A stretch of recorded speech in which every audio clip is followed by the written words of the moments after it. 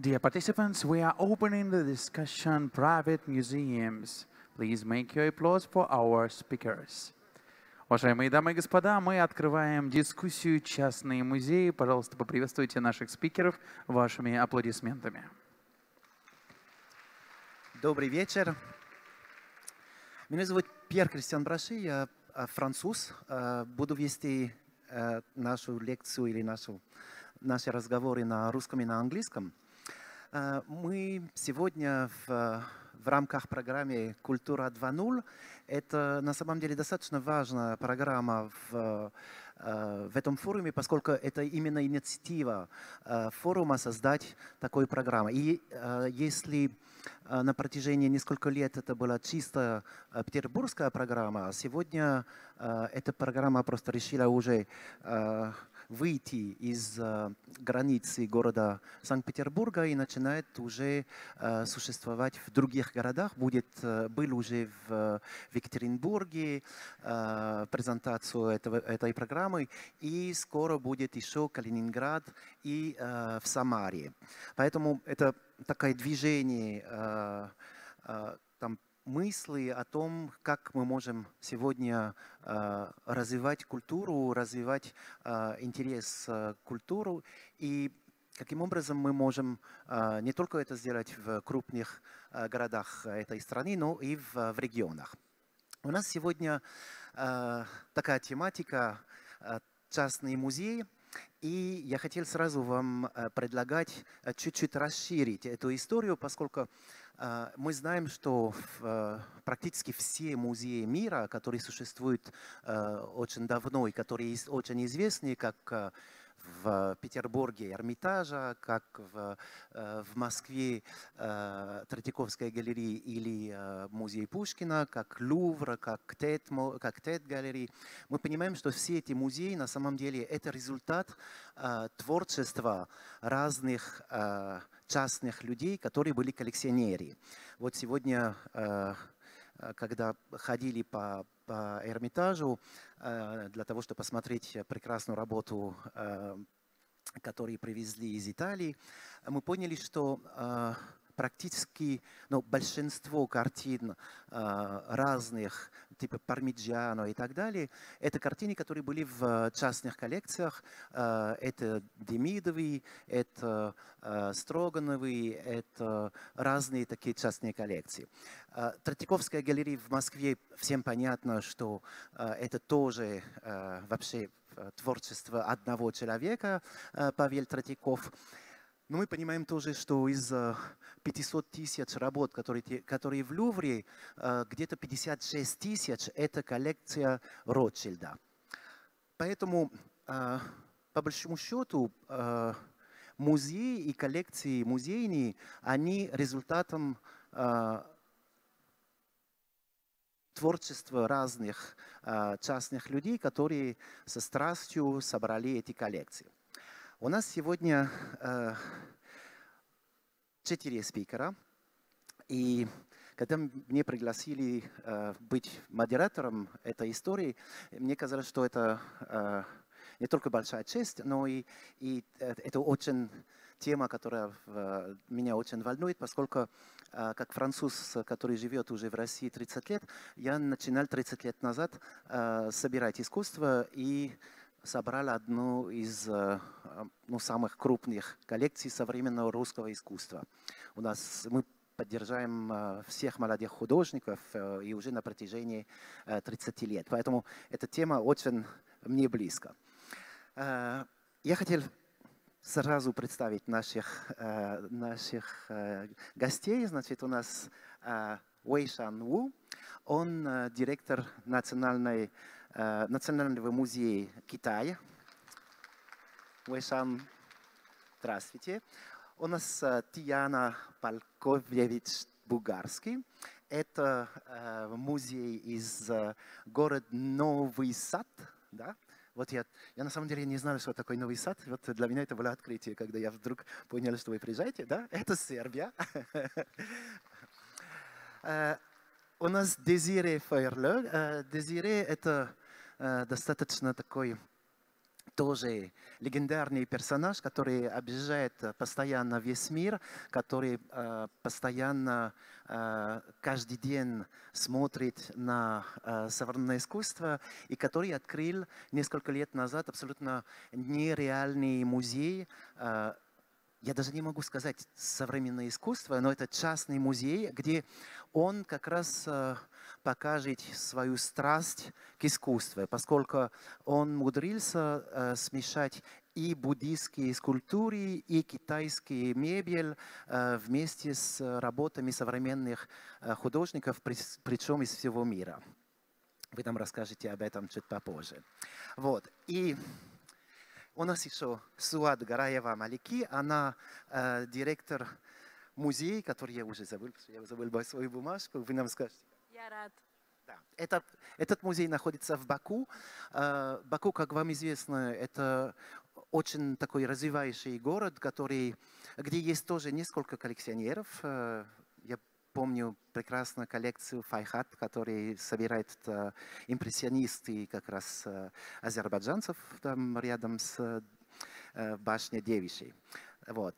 И сегодня хотелось бы обсуждать тематику, каким образом на самом деле частные коллекционеры как, э, и вот эти сумасшедшие люди, которые готовы тратить иногда небольшие, иногда очень большие деньги, и которые тратили в, в истории очень большие деньги, э, готовы просто сотрудничать с музеями. Мы понимаем, что э, когда Медичи в Ференце начинали собирать искусство, или когда Гонзаги или Десте в Мантово, там, в, в разных городах Италии начинали собрать коллекции, э, они не создали музеи, они просто с, собирали искусство э, в основном для того, чтобы показать, что они такие, кру такие крутые ребята, э, как, э, если можно так сказать, как и короля. А этот, этот процесс просто практически не остановился с 16 века до, до сегодняшнего дня.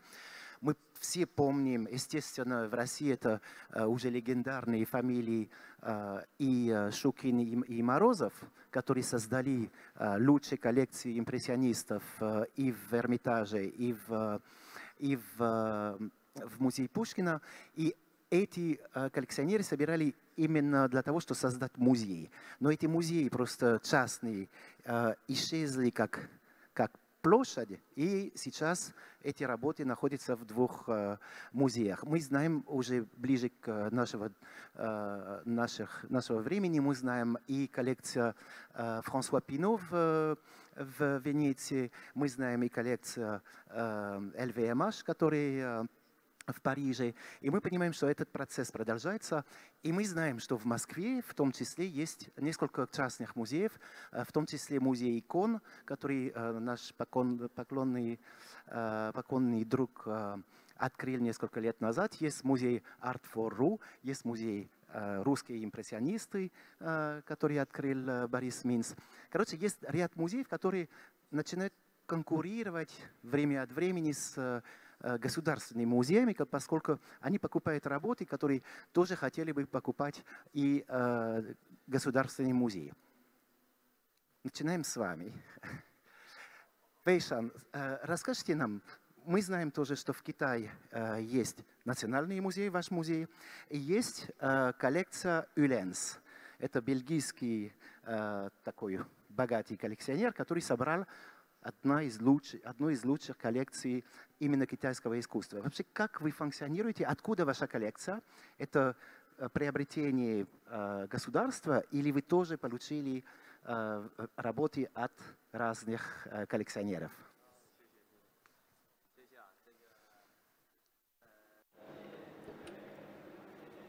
Спасибо.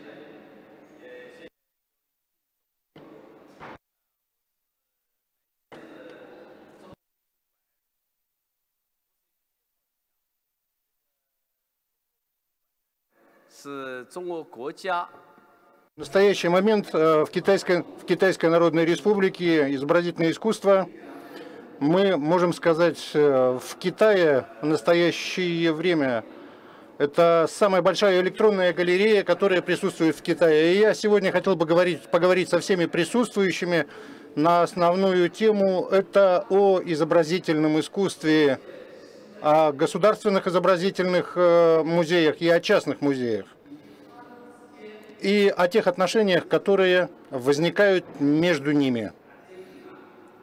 И вот в этой области я чувствую, что э, это главная, главная тема нашего, нашей сегодняшней беседы, а также это важная тема а также это главная тема, одна из самых главных тем, которая может быть осуждена, обсуждена не только в рамках Китайской Народной Республики, но и во всем мире.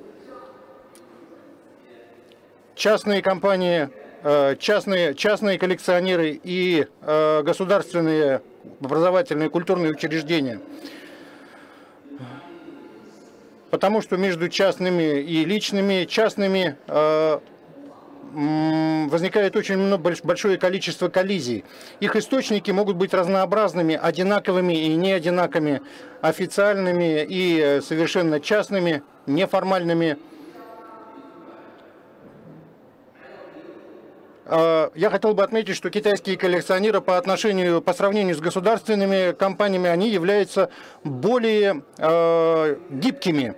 Э, частный коллекционер или частный э, обладатель галереи, который выставляет э, свои приобретенные экспонаты, он обладает решающим правом, он, а не государство, обладает решающим правом, и он обладает определенным культурным кодом для того, чтобы определить то, что он будет показывать тем, кто это будет смотреть.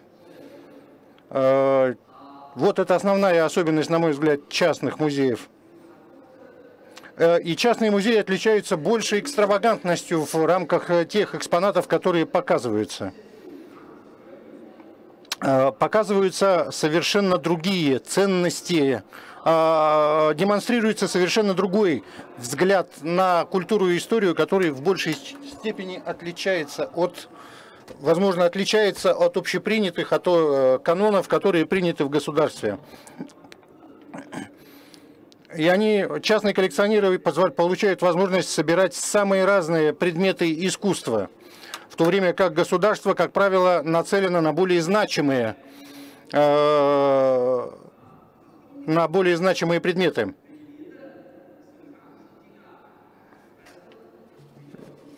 Э, и хотелось бы отметить, что доход государственных э, музеев получаемый от э, проведения выставок, картин, он как-то обладает все-таки большей стабильностью, нежели э, частными, не, по сравнению с частными коллекционерами, которые проводят выставки э, в целях получения личной прибыли и за, собственный счет. Они не отличаются такой стабильностью, как государственные.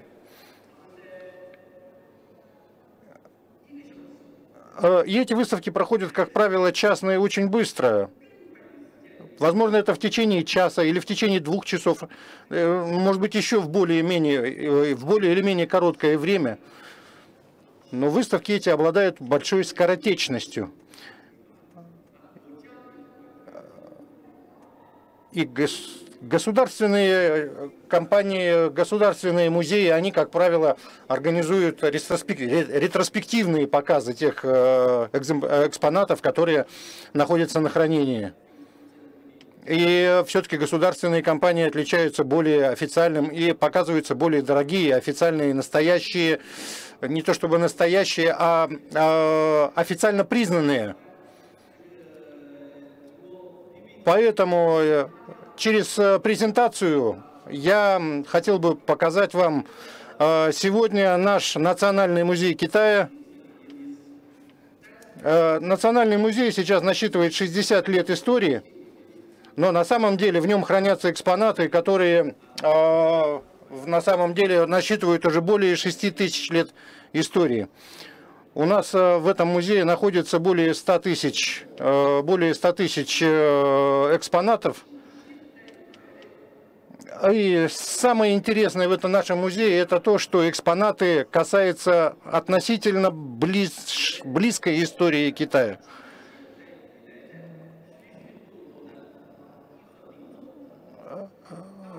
В ней собраны самые выдающиеся произведения искусства а, китайской а, ближней истории, а также иностранные а, экспонаты, которые представлены очень богатыми коллекциями.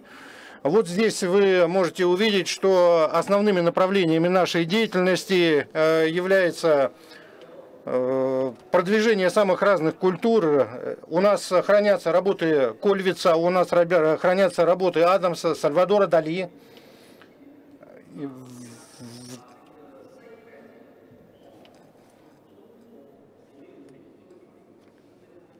И сейчас можно сказать о том, что у нас э, среди хранимых, среди хранимых э, экспонатов мы занимаем примерно 10% от общего мирового наследия культурного. Если говорить о немецком, о немецких э, коллекционерах, они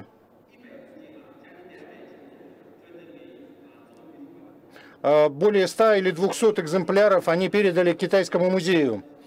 И это очень общеизвестный факт, об этом очень многие знают. А, э, мы сотрудничаем с очень большим количеством музеев, мы подписываем соглашения, в особенности мы создали одно из направлений музея, это музей Великого Шелкового пути,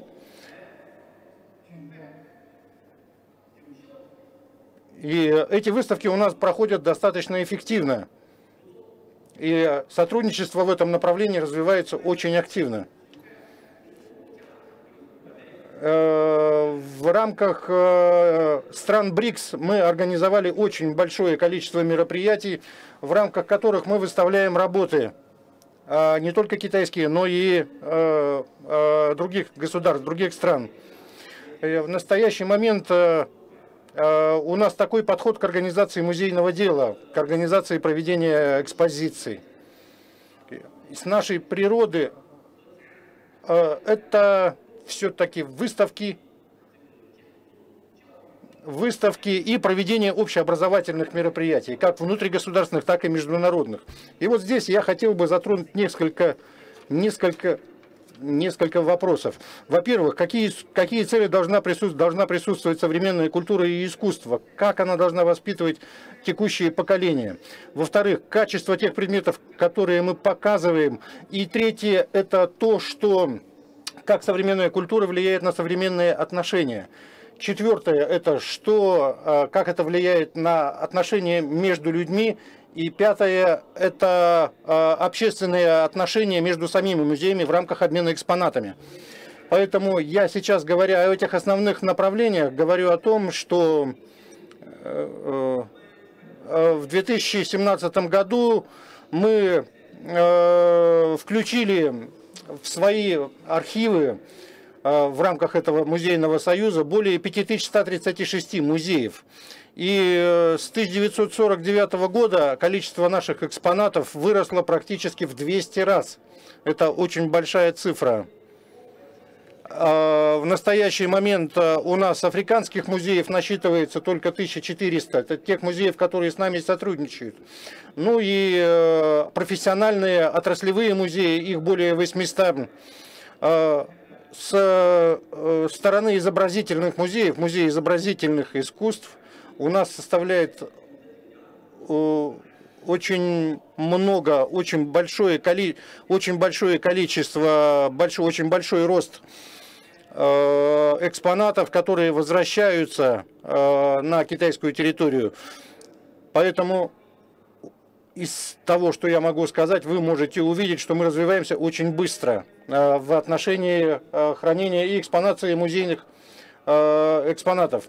Э, непрерывно ведется работа по цифровой обработке наших экспонатов. Ежегодно у нас очень э, быстро растет количество оцифрован, оцифрованных экспонатов.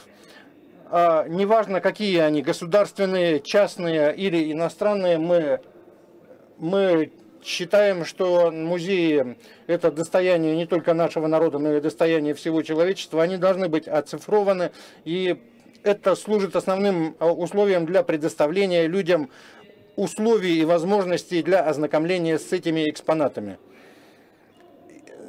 Поэтому, поэтому сейчас э, частные и государственные музеи, для частных и государственных музеев этот вопрос единый. Эта проблема решается э, совместно. Самый большой вопрос, самый большой вопрос между част, отношений между частными и государственными музеями – это вопрос конкуренции. Конкуренция между ними э, составляется, заключается в первую очередь в добросовестности частных музеев э, которые иногда выходят на позиции, когда у нас показываются не самые лучшие и не самые качественные образцы международного искусства.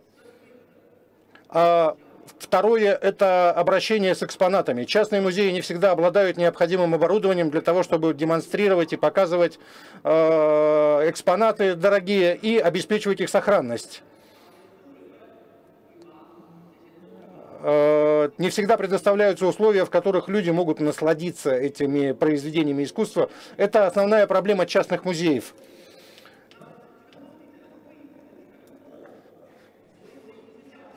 Uh у нас есть очень э, серьезные э, частные коллекционеры, которые проводят очень хорошие выставки. А, но эти выставки, по большому, по большому счету, развиваются очень быстро. Они иногда перехватывают инициативу у государственных музеев, но не всегда могут качественно и э, адекватно организовать показ этих замечательных произведений искусства. Вот это вот основная проблема, на мой взгляд, у частных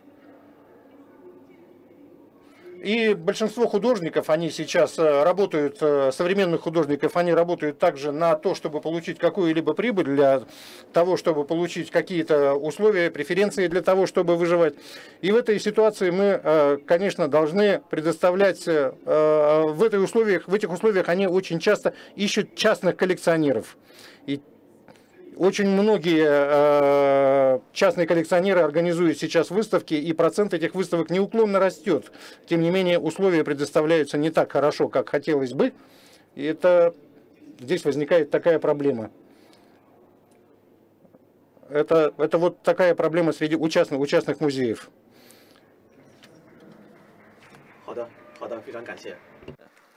Спасибо. Да, есть, там мы, мы вернемся к несколькими э, пунктами.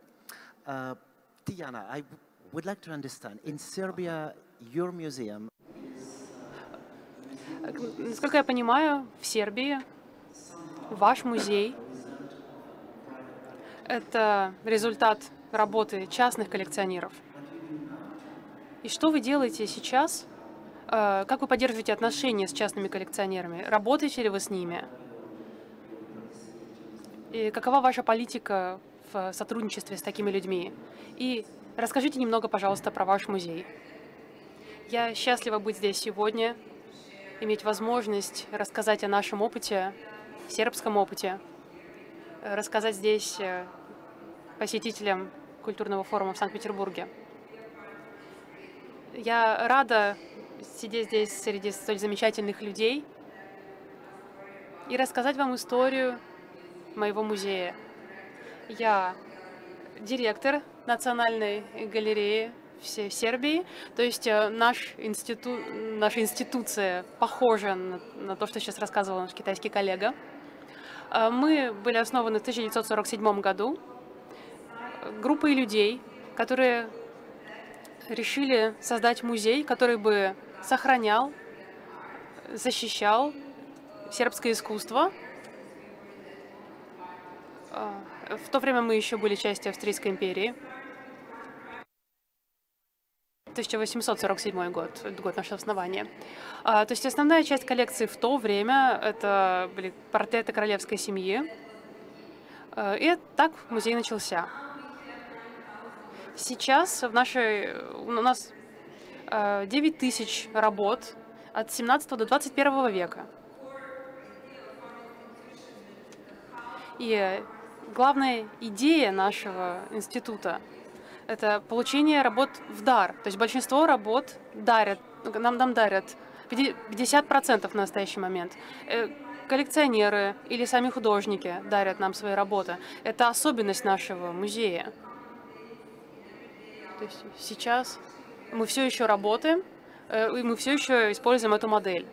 Вот э, как выглядел наш музей в 1933 году. Тогда он впервые открыл двери для широкой общественности. И вы видите, что здесь также показаны портреты. Такой пантеон важных сербских деятелей. тех, кто сыграл важную роль в истории нашей страны. Э, эти портреты все еще входят в нашу коллекцию, они также выставляются в зале нашего музея. Здесь вы видите наши иконы из 17 18 начала 20 века. То есть мы типичная национальная художественная галерея. Но у нас есть и особенности. Мы работаем и с современными художниками и с частными коллекционерами. Как же мы это делаем? Вот человек, который основал музей. Все началось с его коллекции портретов. Чем же мы занимаемся сегодня? В 2002 году я приезжала в Петербург на три недели, я провела их в Эрмитаже, я приезжала сюда на обучение по стипендии. Э, там была выставка немецкого банка, Deutsche Bank. И я тогда была молодым куратором. И я поняла, э, это была коллекция современного искусства, и я поняла, как важно работать, работая с современным искусством, работать с коллекционерами, частными коллекционерами. Потому что они приносят что-то новое, что-то другое. И когда я работала в галерее, когда я пришла в эту галерею, я начала работать именно так. Я собрала выставку работ э, художников, которые сами принесли свои работы к нам. Это современные художники, соответственно, современное искусство.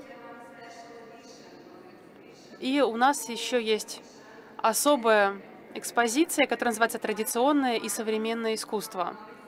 Мы приглашаем художников из Нови Сада и вообще из э, Сербии.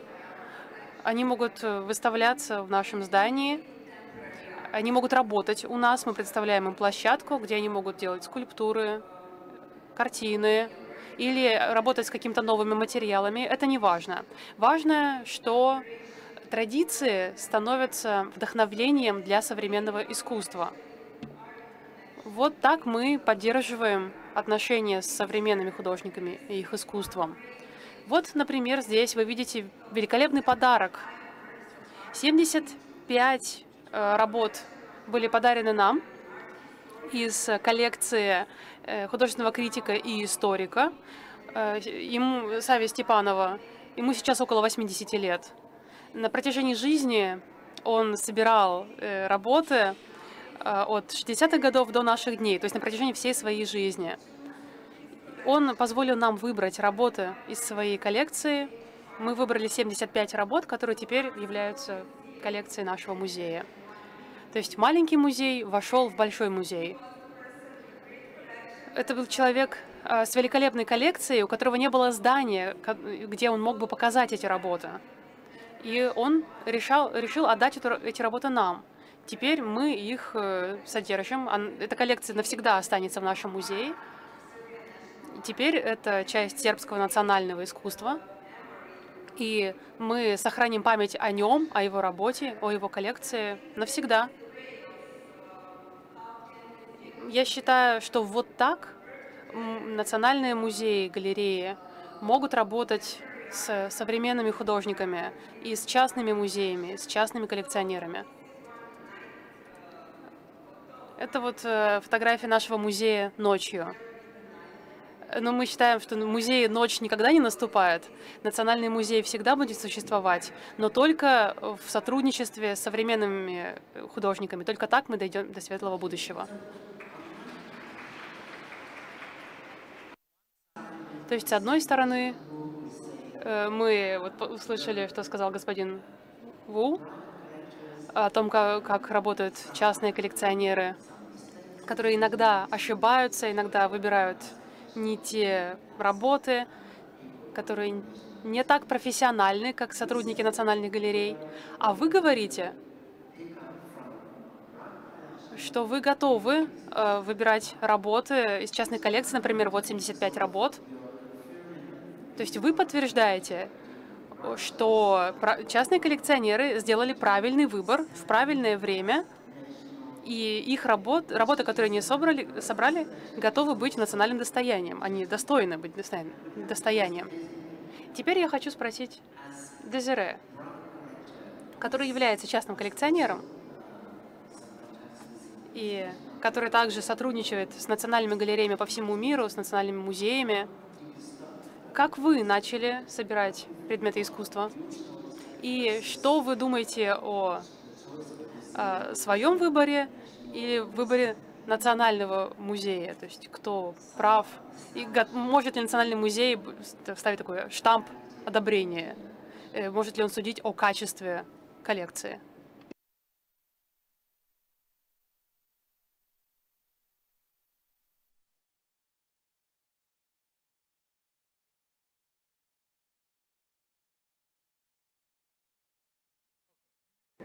Хорошо. Здравствуйте. Я хочу сказать несколько слов в начале моей презентации. Я счастлив быть здесь, э, потому что одна из моих любимых работ была сделана в Петербурге. Это канделябр э, из конца 18 века, где-то 1780-90 год. Он принадлежал моим родителям. 35 лет я их просил. Когда я был маленьким ребенком, э, я влюбился в этот э, канделябр, и каждый год, когда я приезжал к родителям э, или звонил им, я просил у них его этот канделябр. Вот 35 лет прошло, мне меня опять спросили, ты все еще его хочешь? Я сказал, да, это моя мечта, это все еще моя мечта. Сейчас он висит у меня в Берлине, и каждый день я, он меня радует, поэтому я очень рад быть в Петербурге, где был сделан этот канделябр, потому что это вещь, которую я очень люблю. И вообще, я хочу сказать, что страсть — это главное, что помогает вам построить коллекцию, собрать коллекцию. Я частный коллекционер, и я говорю, с этой точки зрения, у вас должно быть видение и должна быть страсть. Не надо много думать. И в этом наше большое преимущество, и в этом наше большое отличие. Национальный музей не может просто так взять и купить. Им нужно найти деньги. Что-то они не могут найти, не могут связаться с человеком. Нужно согласовать покупку. А частный коллекционер все это может делать сам. Нужно просто самому платить. Но это уже личная проблема. И я хочу подчеркнуть, что э, главное, когда вы делаете коллекцию, рисковать. Если вы слишком долго думаете, у вас эту работу уже из-под носа уведут. Полагайтесь на свои инстинкты, на свою интуицию. Просто делайте. Мне, наверное, повезло. Я всегда принимал правильные решения. И мне кажется, когда вы собираете разные предметы, я с детства любил коллекционировать, я там ключи собирал, потом серебряные предметы. И у меня есть очень старые предметы еще до нашей эры. Э, потом современные какие-то вещи, предметы Баухаус. А потом я увлекся Азией. Не только Древней Азией, современными предметами тоже. И сейчас э, моя любовь — это мебель, китайская мебель. Для меня эти предметы тоже предметы культуры, это скульптура. И э, ведь когда-то делали мебель не потому, что не хватало мебели. Э, лакированная мебель появилась, когда это просто произведение искусства. И я заинтересовался этими предметами, и оказалось, что было очень подходящее время начать собирать эти предметы. А потом я подумал, что мне делать со всеми этими предметами, которые собрал? Э, отдать их музею для экспозиции или что? Я всегда считал, что важно что-нибудь создавать. В мире много частных музеев, их становится все больше. Но в целом очень мало музеев, которые остаются у вас в памяти которые иметь что-то особенное. И неважно, сколько там предметов в экспозиции. Это зависит от качества и от того, как вы показываете это качество. В, в Берлине мы купили бункер, ста, такой э, старый. Э, Берлин не очень красивый город, довольно грубый город, но он очень интересный своей историей и так далее. Но это молодой город, современный город. И вот эта грубость, вот эта шероховатость города, это контраст, это прекрасный контраст к тем элегантным предметам, которые я собираю и которые я теперь выставляю вот в этом бункере. Важно еще то, что мы не э, ничего не, мы не подписываем, э, не ставим никаких табличек. Э, важно, чтобы предмет говорил сам за себя. Важно правильно его подсветить. Когда вы показываете какой-то предмет мебели, картину, что бы то ни было, у каждого предмета есть душа. И нужно понять, как показать эту душу предмета. И нужно э, показать предмет в лучшем, э, в лучшем свете, с лучшего угла. Я стараюсь ставить, расставлять предметы в современном в современном виде. Даже если некоторые предметы были сделаны тысячу лет назад, они все равно актуальны сегодня. Их можно назвать современными предметами, и их можно выставить так, что они будут интересны даже очень молодой аудитории, то есть э, людям до 30, до 40. Э, есть совсем молодые люди, э, которые приходят в музеи, которые приводят потом туда своих друзей, то есть я всегда надеялся, что я привлеку молодую аудиторию, но ты никогда не знаешь заранее. И я очень рад, что у меня получилось. Когда люди приходят э, в музей, у нас э, э, также там определенная акустика, которая вам э, просто опустошает вашу голову от всего лишнего. Есть музыка, очень минималистичная музыка. И это помогает смотреть на предметы искусства. Также там у нас есть э, кураторы, к которым можно обратиться, если у вас есть вопрос. Но вообще мне нравится тишина, потому что в тишине у вас есть возможность почувствовать предметы.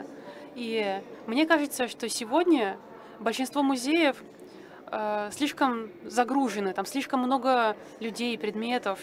Я понимаю, музеям нужно делать, зарабатывать деньги. Меньше людей, меньше денег. Но при этом я все-таки считаю, что искусство всегда предназначается для небольшой группы людей. Это то, только в такой обстановке искусство может дать что-то людям. И когда идешь сегодня в крупный музей, а, музей, там слишком много людей, и искусство не может повлиять на человека так, как, как могло бы. То есть не увидеть душу вот этого предмета. А это очень важно. Опыт восприятия предмета очень важен. И важно, чтобы в городе был, была какая-то площадка, э, где можно просто перезагрузиться, где можно освежить так, голову. Вот вы в парк идете за этим, там деревья, там красиво, тихо, позитивно. Музей тоже может быть таким местом, положительным местом. И это также может нам помочь контролировать ситуацию в будущем. Это не культура фастфуда. Сейчас вот уже фастфуд не в моде, теперь медленная еда в моде. Так же должно быть с культурой. Должно быть место, где вы можете думать. Экспонаты, которые вы показываете в своем музее, помимо этих экспонатов, как я понимаю, вы еще работаете и с другими музеями, как, насколько я понимаю. А, вы выступаете как консультантом,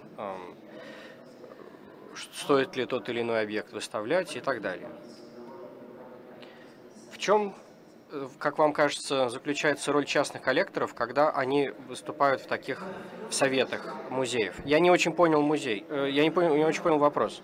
То есть у вас есть своя коллекция, и вы входите в консультативные советы в других музеях, и вы их консультируете что нужно покупать, что нужно, не нужно покупать и так далее. Как, как так у вас получается? То есть вы руководствуетесь теми же критериями, что и при покупке экспонатов свой собственный музей или другими? Я человек очень честный. Если я вижу, что этому музею нужно вот это произведение купить, нужно покупать. Значит, я так и говорю. И часто этого незаметно, другие этого не видят. И когда ты работаешь в музее, ты можешь что-то просмотреть, и тебе нужен взгляд со стороны, свежий взгляд. Поэтому хорошо, что музеи обращаются к таким людям, как я. И важно, чтобы музеи так действовали. Спасибо. Суад, вы директор музея Ярат, музея современного искусства в Баку. И интересно будет посмотреть, что представляет ваш музей Ярат. Может быть, вы нам расскажете э, несколько слов о музее. Если вообще зайти на веб-сайт музея, то уже начинаешь понимать всю магию музея. Там не совсем понятно, что именно входит в вашу коллекцию, но сам дизайн мне очень нравится. Суад, как вы работаете с... Вообще, как, каков ваш подход к формированию коллекций? В чем ваша миссия, в чем ваша цель? Как вы э, взаимодействуете с частными коллекционерами? Поделитесь, пожалуйста. Большое спасибо. Спасибо, что пригласили меня. У нас подход сильно отличается к коллекционированию и к демонстрации работ. В отличие от других уважаемых членов нашей дискуссии, мы не совсем музей, прежде всего. Нам не нравится себя называть музеем. Я рад. Это центр современного искусства. Мы, мы себя считаем пространством современного искусства. В этом пространстве что-то происходит, и как нам, как мы надеемся, это пространство и то, что в нем происходит, будет способствовать развитию творческого, творчества в нашем городе. Это одна фотография одного из наших пространств. Я еще покажу Дальше другие фотографии. Изначально Ярат в 2011 году был основан, в 2011, а само здание у него появилось в 2015 году. И он начал свою работу, по сути, с 2015 года, то есть мы еще очень молоды. Изначально, с самого начала, мы планировали работать с современными живущими художниками, чтобы они у нас делали выставки и заказывать у них работы. То есть, когда мы добавляем что-то в коллекцию, мы сами участвуем в создании этой работы. И художники, будь то художники местные или региональные, или даже заграничные художники, которые выставлены в Ярате, они всегда рады при, приезжать в Баку, в Азербайджан, и мы ведем с ними диалог. И это порой позволяет им создать что-то абсолютно новое. Вот это инсталляция Оскара Мурильо, например. Он со создавал такие э, окна, э, которые выполнены в стиле затемнения стекла XVIII века. И вот очень интересная работа получается. Окна выглядят очень интересно. И вот э, работа азербайджанского художника. Что-то не переключается у меня. Куда нажимать? Не, не нажимается.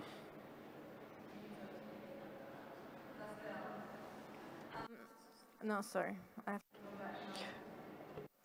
Теперь мне нужно вернуться назад. Так, за это э, извините, забегаю вперед. Хотел сначала фотографии показать.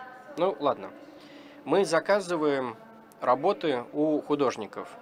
И мы таким образом можем взаимодействовать с нашей аудиторией и помогать работе художников, помогать художникам. Интересно, когда иностранные художники приезжают к нам, и они видят что-то, местный колорит, с которым они могут взаимодействовать.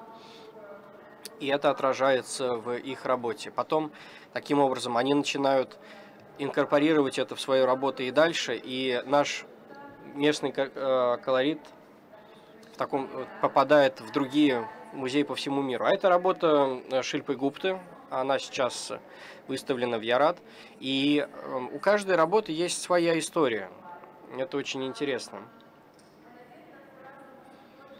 Для нас самое важное, чтобы искусство говорило с аудиторией.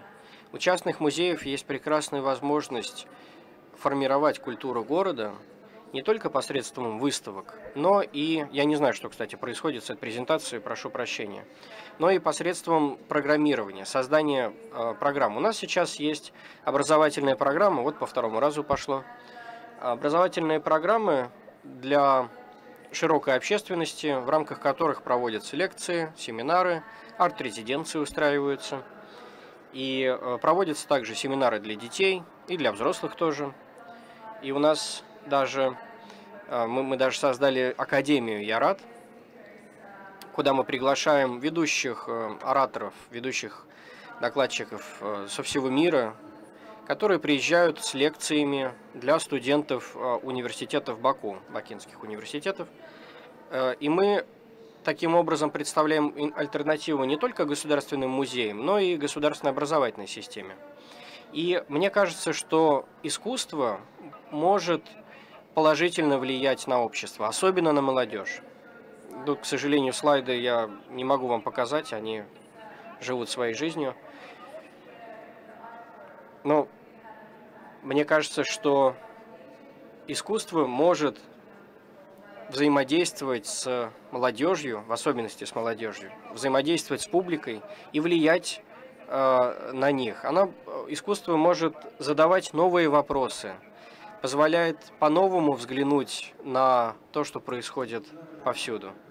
То есть вы выступаете продюсером своего рода. Вы заказываете. Нет, нет, мы работаем вместе с художниками, мы вместе организуем выставки, и когда мы организуем выставки, мы заказываем что-то для выставки новое. А кто принимает решение? Кто решает? Нет, мы работаем вместе. Кураторы, да, у нас есть команда кураторов. Я зачастую, иногда мы также привлекаем кураторов из других э, институтов, институций. И мы работаем вместе с художниками. Художники обладают полной свободой. Они порой делают то, что они давно хотели сделать, но не могли. А мы им предоставляем возможность, ресурсы. Например, вот этот проект – это проект э, Ваджико Чачкиани, это грузинский художник. Он хотел снять фильм и сделать инсталляцию. То есть это, в общем, то, чем он занимался и раньше. Но вся эта работа абсолютно новая. Она была сделана для выставки в Ярат. Потом он, у него была выставка в Базеле, Арт Базель. И э, вот это Эм, лес оказался даже в, ну, он попал в арт-базеле, может быть, частный коллекционер потом его купил, этот лес. То есть через нас работы художников попадают в мир, и э, она после этого, после выставки, может или остаться в коллекции Ярат, или, если выставка большая, что-то мы оставляем себе, а все остальное живет своей жизнью. А кто финансирует все это?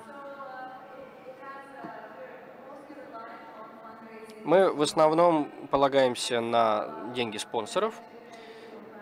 И у нас есть финансирование от частных лиц, но это небольшая доля. В основном это корпоративное финансирование и немного государственное финансирование.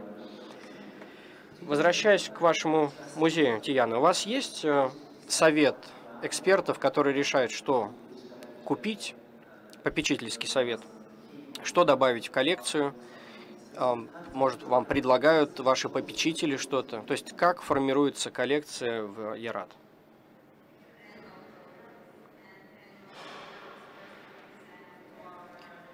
А у нас есть ежегодные программы э, и ежегодные встречи э, Совета попечителей, и э, попечители говорят, что они хотели бы купить. И мы также работаем с художниками и с частными коллекционерами, взаимодействуем с ними. То есть нам помогают и кураторы, помимо попечителей, и частные коллекционеры иногда тоже. То есть это процесс который не зависит от одного человека, от меня, допустим, как директора. Но мы всегда стараемся закрывать пробелы в нашей коллекции. Если у нас есть э, э, мало работ одного, допустим, художника, мы стараемся добавить. Ну, то есть это постоянный процесс. Вэйшань, вы не, не традиционный директор музея, потому что вы же еще и художник – и здесь э, интересно, мне кажется, э, что вы как выступаете и художником, и директором музея. То есть вы не очень хорошо, как я понял, относитесь к частным коллекционерам, но как вам кажется, Государственный музей, что может делать Правда ли э, Государственный музей может лучше выбирать работы, чем частные коллекции? И вообще, правда это или нет. Потому что Дезире говорил о том, что нужно быть э, страстным человеком, нужно э, делать, э, родить за то, что ты делаешь. И часто нам говорят, что государственные музеи, э, в государственных музеях решения принимаются головой, а такие коллекционеры, как Дезире, э, они решения принимают сердцем. Как у вас с этим обстоят дела в вашем музее? Да, мне кажется, что современным искусством всегда побеждает сердце, если мы говорим о современном искусстве. Всегда важна страсть в современном искусстве. Э, я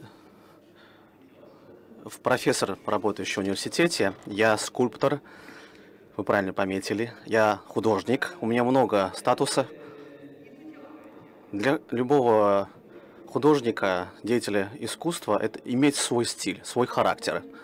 Но как руководитель музея изобразительных искусств, тут э, ну, нужно работать не только с сердцем, тут нужно э, э работать разумом и профессионализмом. Допустим, понимать стиль, понимать порядок работы, схема работы.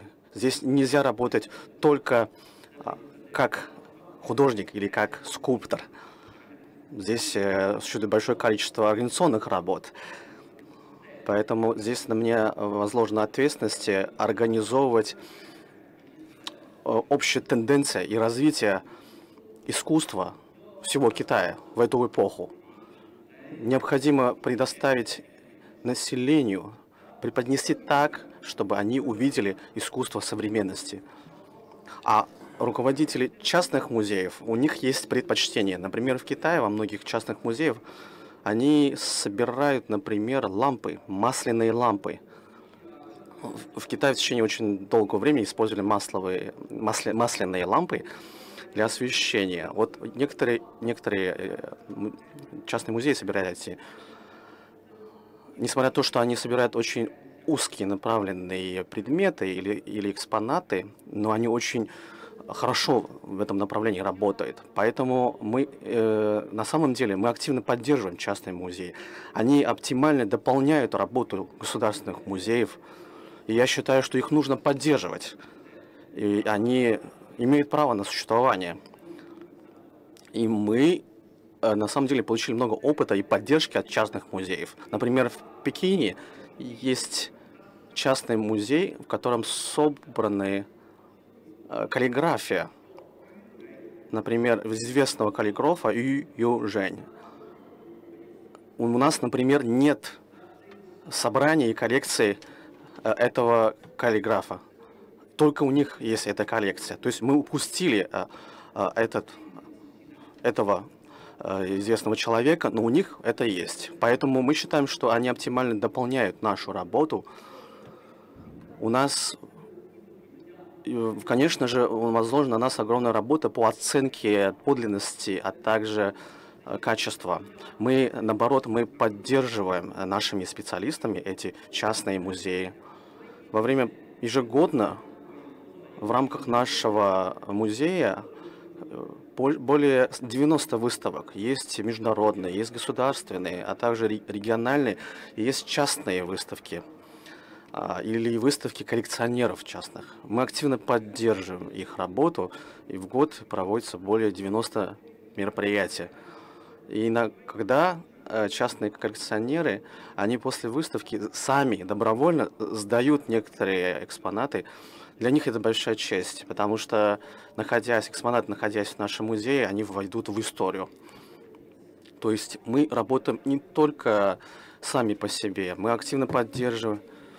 В последнее время очень часто э, частные коллекционеры хотят сдать нам 50-100 экспонатов. И мы не можем собрать все. И поэтому возникает иногда ситуация, когда мы отбираем некоторые экспонаты, а некоторые возвращаем ими.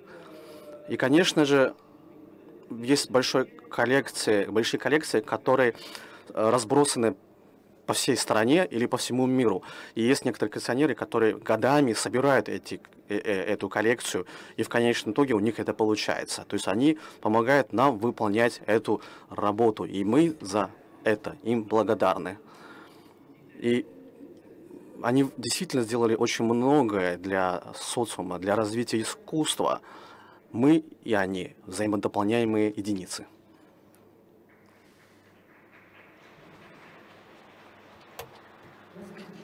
Э, слово мы упустили момент. Э, и это часто вот то, что мы слышим, когда э, мы говорим с директорами музеями. Я помню, буквально неделю назад общался с, с директором Третьяковской галереи, и она тогда, это было на открытии дара очень достаточно крупного коллекционера или, или фонда, фонд э, Смирнов-Сорокина. И она рассказывала, что вот мы пропустили э, нулевых годов. Там у нас в Третьяковской галерее ничего нет, и слава богу, что вот вдруг появился коллекционеры, которые готовы э, дать эти работы, потому что мы пропустили, и время прошло, все, уже работы находятся в частных коллекциях, и уже найти ничего. Э, вот, этот, вот это ощущение э, мы пропустили, это э, для музеев, которые государственных, это, это главная тема, потому что мы знаем с, коллекци... с те люди, которые собирают современное искусство, что мы часто первые, потому что вошли в мастерскую, видели работу, сказали, ой, хочу, дали деньги, до свидания, работа наша.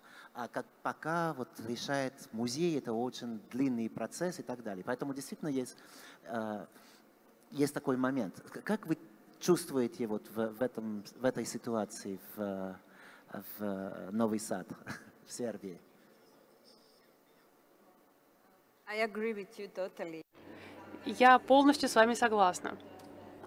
Иногда, как господин У сказал, музей работает слишком медленно. Мы не можем реагировать так быстро, как частный коллекционер. На нас лежит огромная ответственность за национальный интерес. А, мы несем ответственность за бюджетные деньги, потому что деньги поступают из э, налогов, то есть средства налогоплательщиков. Мы должны э, гораздо тщательнее продумывать свои действия. Но именно поэтому мы должны больше сотрудничать с частными коллекционерами. И вот, например, мы тоже потеряли один период на целых 50 лет, а, потому что э, в Новисаде открыли новый музей, музей современного искусства, а мы в этот период бросили собирать, то есть мы отказались от э, того, чтобы собирать современное искусство. А потом, с 50 лет спустя, мы поняли, что Просто сохранять э, искусство прежних эпох недостаточно. Необходимо взаимодействовать с современным миром, с современными художниками. Поэтому современное искусство нам необходимо в нашем музее, даже если мы сами не музей современного искусства.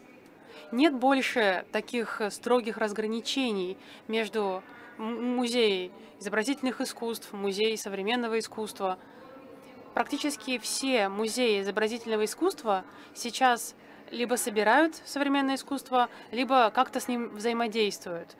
Например, устраивают представления. И до начала этой секции мы как раз обсуждали, что национальные музеи, э, мы музей для всех граждан нашей страны, для всех, э, кто э, приходит к нам. Мы должны быть открытыми для всех, для детей, для молодежи, для пожилых людей. У нас должны быть разные программы, образовательные программы, творческие программы. Мы должны быть открыты для всех. А частный музей может выбирать свою аудиторию. И мне кажется, это тоже очень важное отличие между частным музеем и государственным музеем. Они могут э, выбирать, э, какую атмосферу они хотят создать в своем здании, каких людей они хотят у себя видеть, кого они к себе приглашают, кто их потребитель. И мне кажется, это очень большая разница. И вот мы сейчас обсуждали с коллегой, отметили эту разницу. И вот он говорил о, об атмосфере в своем музее, и что она отличается от Большого музея, от Эрмитажа, от Лувра, где очень много людей, много шума, все говорят на разных языках. В моем музее мы открыты вечером в пятницу, допоздна. И люди просто после работы приходят, чтобы успокоиться, чтобы провести там свободное время, то есть, может быть, э, как вот он опять же привел пример, пойти на природу или пойти в спа. Э, это еще один вариант досуга, спокойного досуга. Место, где тихо, где можно просто быть в настоящем моменте, смотреть на картины и наслаждаться настоящим моментом. И э, мы считаем, что в пятницу вечером наш музей становится, как бы это сказать, местом для отдыха и созерцания – а днем у нас дети, у нас подростки, студенты, много туристов, вот все, как и все большие музеи. То есть вот в чем вопрос. Они могут выбирать, кто к ним приходит, а мы должны быть открыты для всех.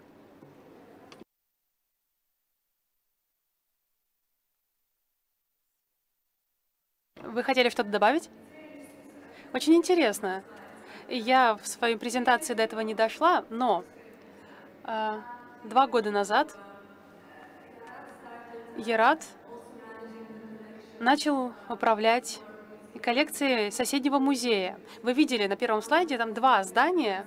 Один, одно из них это наш, на наш центр. Здесь на слайдах, кстати, работа для молодежи.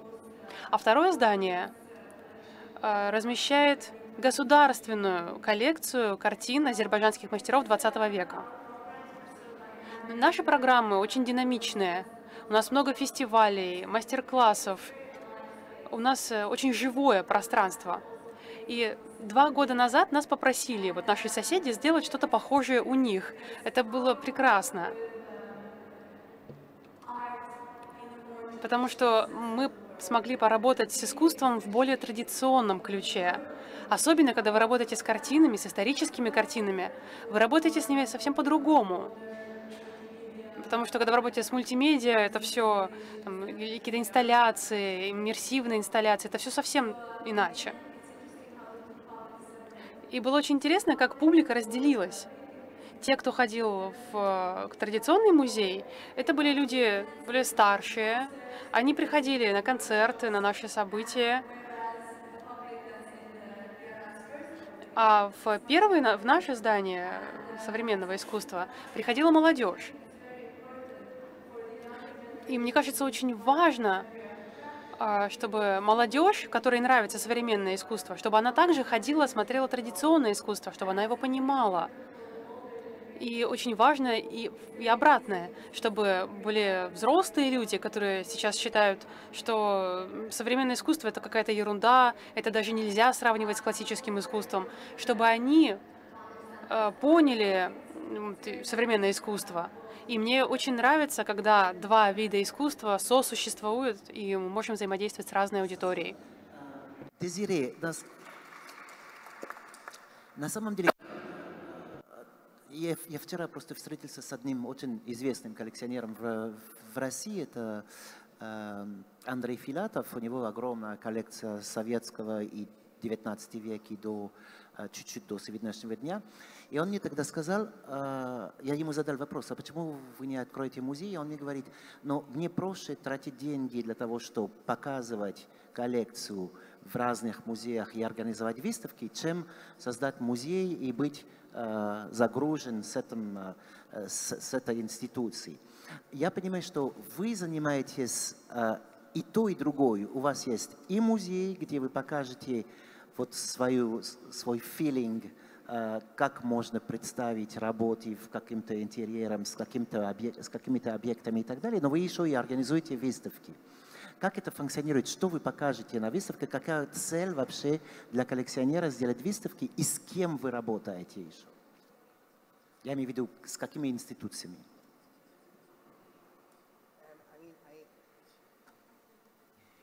Uh, I will do an Э, Скоро у меня будет новая выставка, но я не могу сказать где, потому что музей попросил меня ничего не говорить. Но это будет большой музей. А цель... И, и вообще, почему музей обратился ко мне? Они сказали, у вас есть свой музей, но ваша кураторская работа настолько отличается от всех. Вы можете поработать с нами? Я сказал, конечно, с удовольствием. Я очень люблю кураторскую работу. Это одна из моих любимых работ. Это всегда сложно, потому что пространство новое, пространство должно быть подобрано верно. Это очень важно. Э, Иногда кто-то не соглашается провести выставку в своем пространстве, но для меня на 100% важное место. Мне важно, чтобы всем понравилась выставка, а место решает, понравится выставка или нет. И моя цель — создать что-то особенное, что-то, что отличается от других выставок, потому что выставок проводится много по всему миру. И мне кажется, то, что ты делаешь, должно быть другим. Но, но я не хочу заниматься образованием. Меня иногда спрашивают, что вы хотите сделать. Я хочу создать нечто, отличающее от всего остального. Показать что-то другое.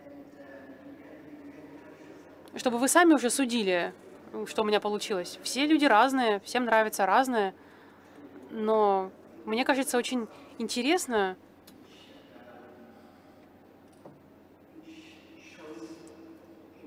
показывать что-то э, красивое, субъективно красивое. Я люблю красоту, я люблю красивые вещи. И в последнее время э, красота стала каким-то ругательным словом. Не знаю почему. Но я стараюсь показывать красоту. И красоту можно найти в разных местах. И можно обсуждать, что такое красота. Это интересно. И если вы ответственно подходите к своей работе, если вы работаете в э, общественном музее, в национальном музее, это совсем другая работа. Выставка должна получиться отличной. Но если у вас есть такая возможность, обязательно поработайте в национальном музее. Это честь. Это честь, когда вас просят такой музей поработать с вами. А вы э, при- приглашаете, при- предлагаете какие-то работы для музеев?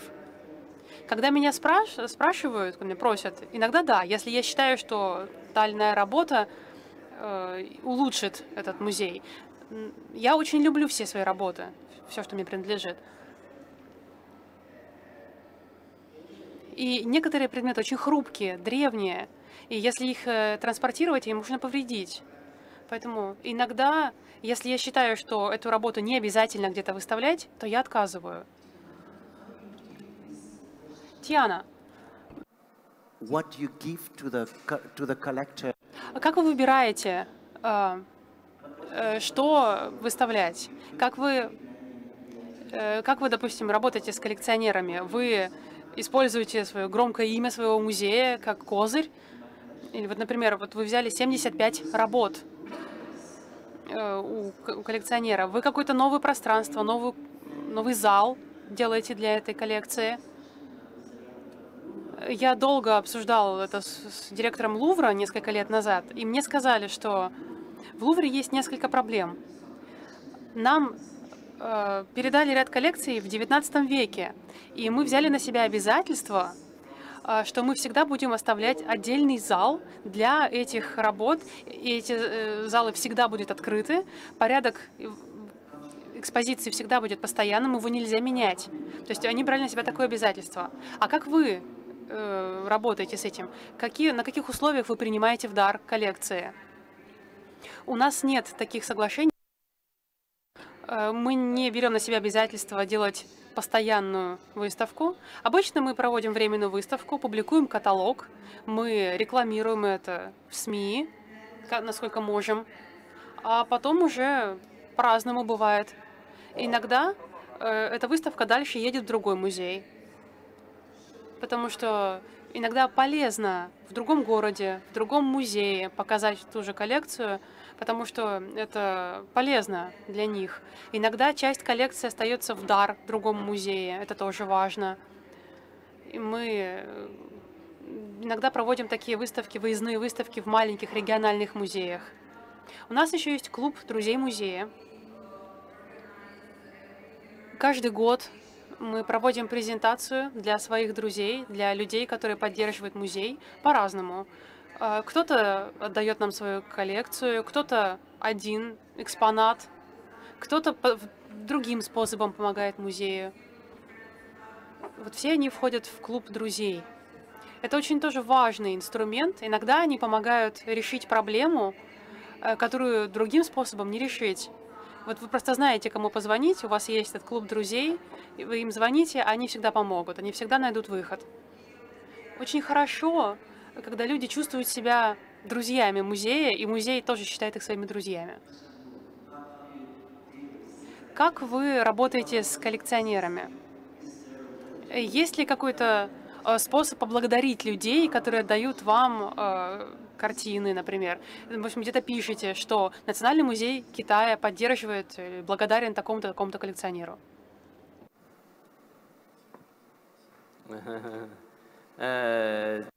Ну, на самом деле, потому что в Китае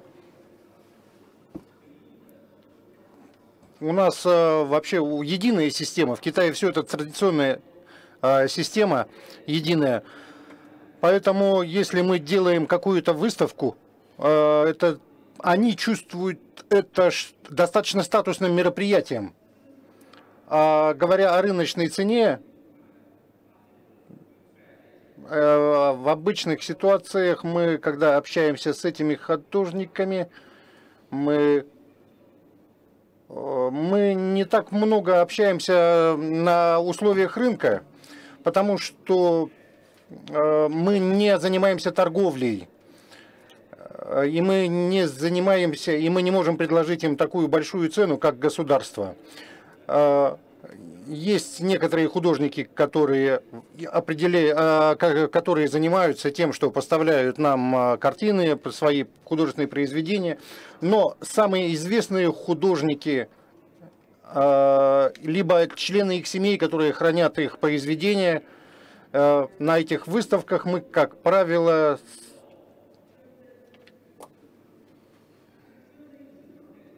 э, мы э, проводим некий сбор средств на этих мероприятиях, в ходе которых этими в ходе которых сбор этих сбор этих средств поступает в большей частью на обеспечение самих выставок. И те люди, которых мы выбираем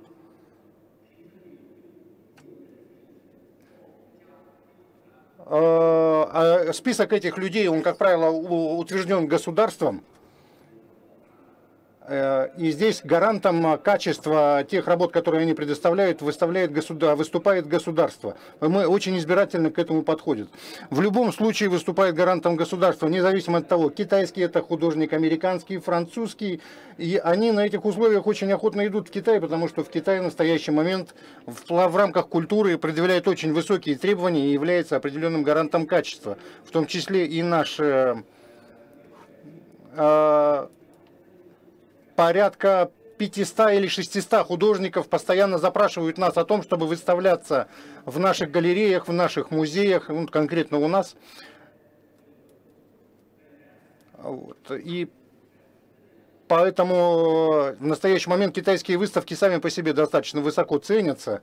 Они обладают определенным статусом, определенной статусностью.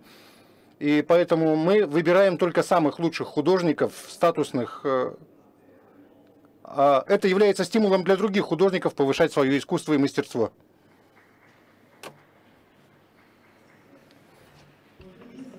В, в зале, потому что мы уже приближаемся к концу. А, можно вопрос к господину Дизере? Yes? А, каково предложение, как сократить количество людей в музеях и при этом обеспечить ну, возможность для них увидеть то, что нужно? Каковы ваши предложения?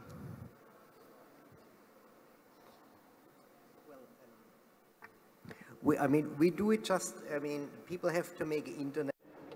Нужно у нас э, по интернету. Просто билет купить нельзя. У нас нужно все делать по интернету, заранее бронировать э, посещение музея.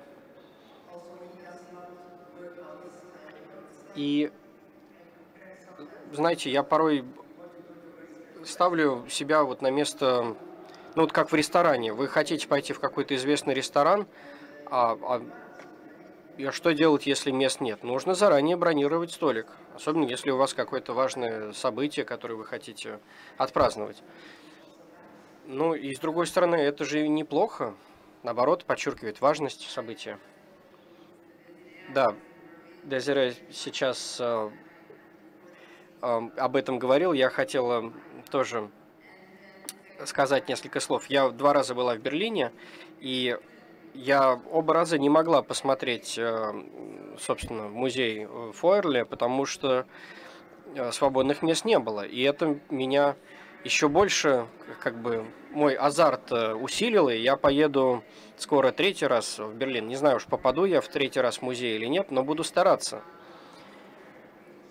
Потому что в музей Форли может попасть только определенное число посетителей – но с другой стороны, вы понимаете, что это время полностью ваше, и вы не можете, э, там, можно не бежать.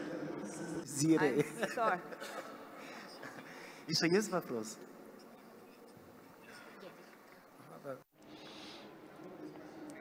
За ваше выступление достаточно было интересно и емко. У меня вопрос господину У. А, представлюсь, я являюсь директором Современного музея каллиграфии, нам уже 10 лет. То есть на рынке мы существуем более 10 лет. А, представлено свыше 70 уникальных стран, точнее свыше 5000 уникальных работ и из 70 стран мира. То есть мы работаем с ведущими ассоциациями, включая, конечно, и китайских каллиграфов, такие как Сусишу, Джанхай и Фэн Чисюн. То есть это каллиграфы, которые занимают первое место в китайской вот рейтинге. У меня вопрос.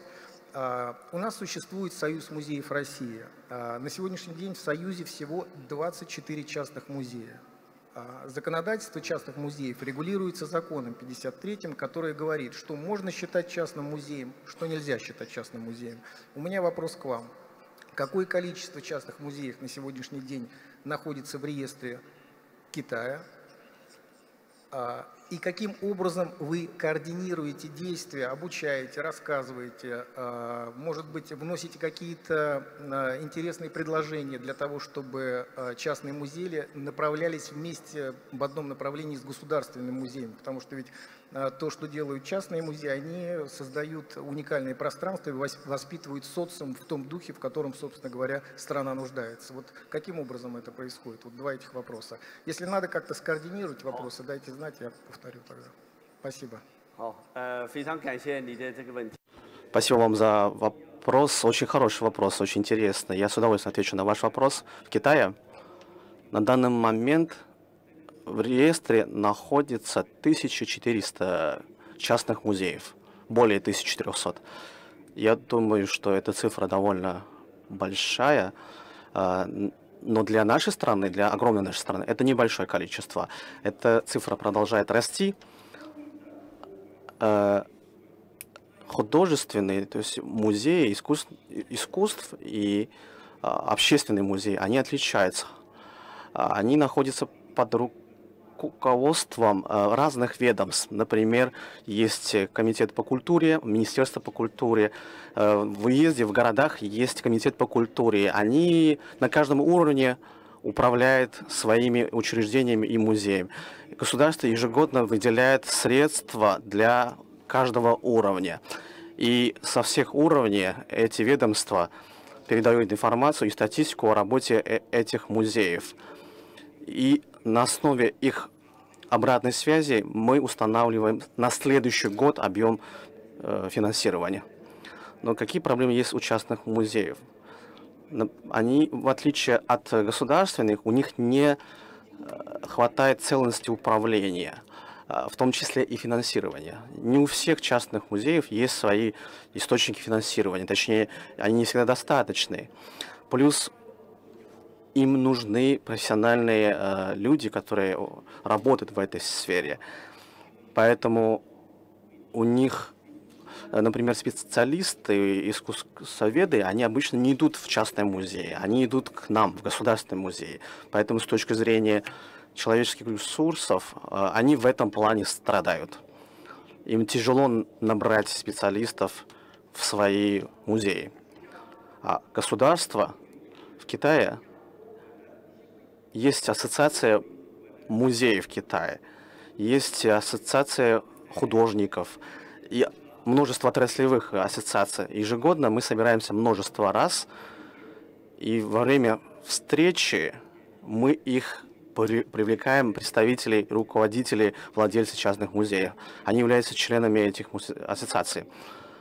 Поэтому мы относимся к частным музеям как и к остальным членам нашей ассоциации. Например, наши государственные музеи ежегодно проводят различные конференции и форумы научно, научного характера.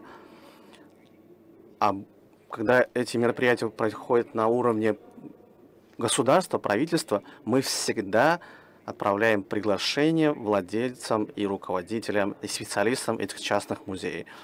Поэтому с точки зрения э, научного исследования и развития, и управления музея, частные музеи получают такие же привилегии, как и государственные музеи. Отличается только в финансировании. В целом такая обстановка.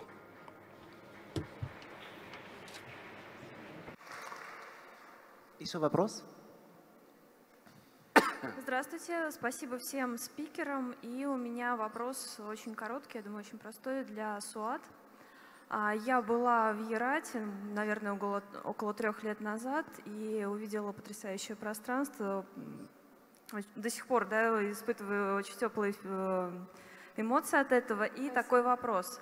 Вы работаете с современными молодыми художниками, и они говорят о современном контексте Азербайджана и иногда затрагивают табуированные темы. Как аудитория, как посетители Ярата реагируют на эти работы? Спасибо. Часть причины, почему мы решили работать напрямую с художниками и почему мы решили поддерживать, так скажем, живые работы, процессе, потому что таким образом мы можем говорить о вещах, которые интересны нашей публике, нашей аудитории. А вместо того, чтобы покупать работы на ярмарках современного искусства а, по миру, а, зачастую не имеющие никакого отношения к нашему контексту и нашей публике.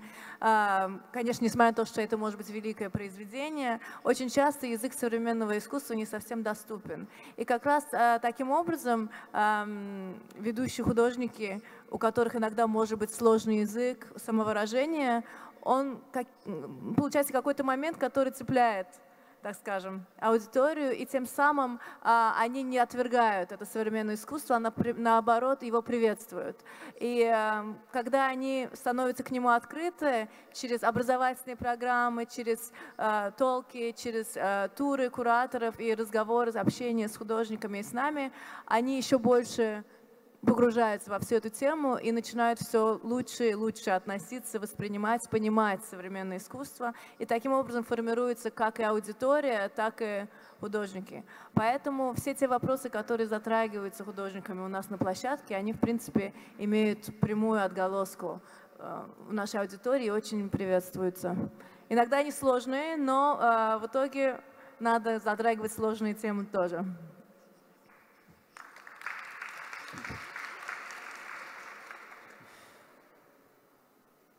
Еще вопрос?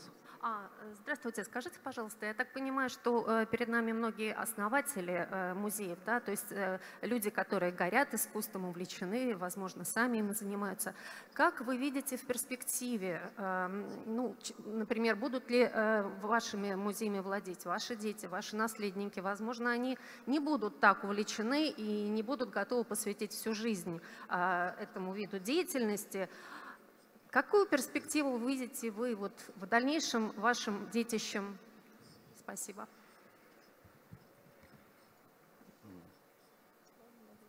That's a very good question. Очень хороший вопрос. И я уже сейчас думаю об этом. Я надеюсь, что завтра все-таки не умру, но я об этом э, думаю время от времени. Ну да, действительно, здесь есть над чем подумать. И действительно, вопрос очень хороший. Это, это важно, о чем вы говорите. Часто меня спрашивают люди, приходят в музей и спрашивают, а вы уже об этом подумали? А что будет после вас? И здесь действительно ответ э, может быть непростым, но у меня два ребенка, они, они маленькие, две девочки, две маленьких девочки, 8 и 9 лет. Так что пока рановато. Но я стараюсь их приобщать к тому, чем я занимаюсь. И когда они подрастут, э, я надеюсь, что они поймут, что это может стать их. И иначе, если они не захотят этим заниматься, придется придумывать что-то другое. Я просто этому посвятил всю жизнь и продолжаю посвящать. Я под- посвятил всю жизнь искусству. И я, я люблю искусство. Я действительно переживаю за искусство. Я надеюсь, что оно никуда не пропадет после, после меня. Так что, да, вопрос хороший. И у меня есть также друзья, коллеги в других музеях, частных музеях. Они тоже начинают об этом задумываться. Так что, да, хороший вопрос.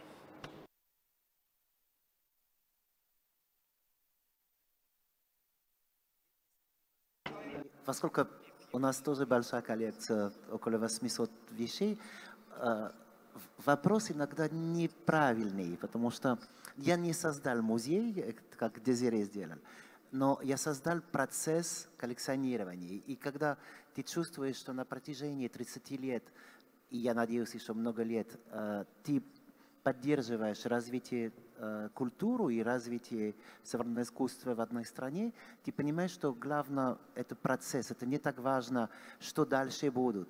Важно, что время от времени ты покажешь эту коллекцию, ты покажешь, как она развивается, ты покажешь, как твой вкус меняется, ты покажешь, что ты купил вчера или там позавчера. Э, И это нужно сделать достаточно ну, каждые 5-10 лет. А дальше судьба этой коллекции, это уже не так важно. В принципе, есть, э, есть след, что вот в какой-то момент вот была выставка, вот есть каталог, вот э, и дальше вот развивается коллекция. Я не, вот все равно мы все понимаем, что мы в гроб эту коллекцию не возьмем. Это мы точно знаем.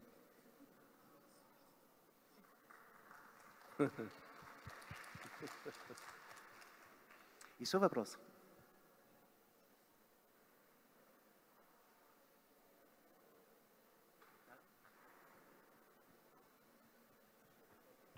Нет, не хочет. Хочет. Вот Суат сказала, что спасибо большое, что вы поддерживаете художников. Вы фактически создаете с ними что-то вместе. Ну, то есть вы фактически, э, может быть, бы они что-то и не создали, если бы не ваш музей, правильно?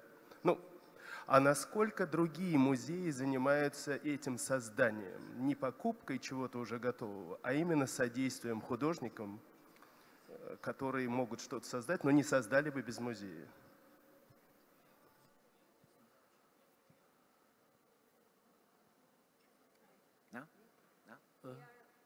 We are actually Да, мы этим занимаемся. У нас есть э, специальные выставки каждый год. Я вот о них рассказывал. Мы приглашаем артиста организовать выставку художника. Сначала мы придумываем идею, а потом уже работаем над ее реализацией. Это может быть идея, допустим, кино или какая-то другая тема. И даже, несмотря на то, что мы э, не музей современного искусства, мы все равно этим занимаемся. И этот диалог между прошлым и настоящим для нас очень важный. Он важен для будущего. И любой музей, все музеи должны этим заниматься. Даже если вы не музей современного искусства. Мы единственный музей в Сербии, который этим занимается. Я, как директор, я считаю, что важнее всего организовать диалог с публикой. И нужно привлекать молодежь в музей, студентов э, Академии искусств. Они порой к нам приходят люди и спрашивают, а как мы вам можем помочь? Чем мы, э, что мы можем сделать для вас? То есть музей влияет на общество, влияет очень сильно. И именно, вот как говорили раньше, в том числе и потому, что затрагиваются политические вопросы, вопросы более высокого порядка, скажем так. То есть не, не важно, чем вы занимаетесь, вы так или иначе должны работать с современным искусством, потому что так музей живет.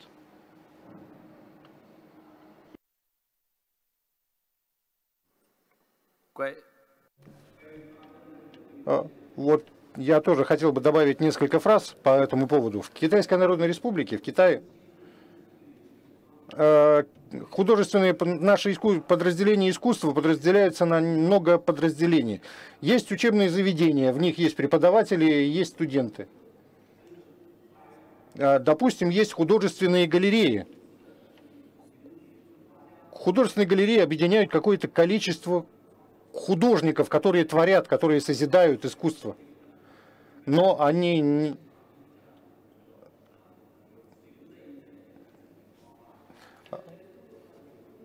А, но это не настолько свободные художники, как в Европе. Европейские художники, они свободны, китайские художники получают зарплату. А, а также у нас есть э, союз художников, так называемый. А, вот он несет двойную функцию, двойную функцию созидания и выставления своих работ. И в, этой, в этом плане он является очень сильной организационной силой. А, и мы сейчас э, как раз занимаемся вопросом подготовки а, художников совместно с итальянскими ассоциациями художников. Мы ведем такую работу. И они для нас предоставляют очень хорошую художественную атмосферу. А, а мы, соответственно, предоставляем им такую же атмосферу для того, чтобы они могли творить в Китае. И здесь мы можем выбирать выдающихся художников в Китае для того, чтобы они поехали в Италию и заниматься этими процессами обучения и восприятия действительности глазами а, совершенно другого человека из другого мира. Поэтому мы активно ведем работу для потому, чтобы наши художники, китайские художники, имели возможность посетить иностранные государства, как можно больше увидеть а, и эти выдающиеся художники получают очень хорошие атмосферу, хорошую атмосферу, очень хороший толчок, стимулирующий толчок для развития своего художественного потенциала. А если говорить об а, галереях и музеях, они также являются одним из важных факторов для не только получения какого-то удовольствия от э, красоты искусственного художественного произведения, но они также являются стимулом для развития э, и стимулирования художников. Спасибо. А, Дезире Тияна. Мы сегодня могли чуть-чуть э, рассказать о том, что все-таки мы благодаря Э, страсть и благодаря наше понятие о том, что такое искусство, и благодаря э, того, что мы чувствуем, что мы сегодня живем, и нам нужно обязательно создать и поддерживать ту культуру, которая сегодня существует, или как частный коллекционер, или как э, продюсер искусства, или как директор музея, или как директор крупнейшего музея в Китае, мы понимаем, что э, Мы делаем это для наших внуков, для наших правнуков. Э, Неважно, будет ли ваш, ваш э, частный музей, но, но все равно то, что вы делаете сейчас, и то, что мы все делаем сейчас, и если вы здесь, значит, мы все вместе делаем эту работу, это поддерживать и сделать так, что наши, опять же, внуки, правнуки думали, вау, все-таки в 10-х, 20-х годах 21 века было очень круто. Спасибо всем. Спасибо, Культура 2.0. Леди и джентльмены, на этом дискуссия «Частные музеи» подошла к концу. Мы приглашаем вас проследовать к выходу. Выход осуществляется через цокольный этап.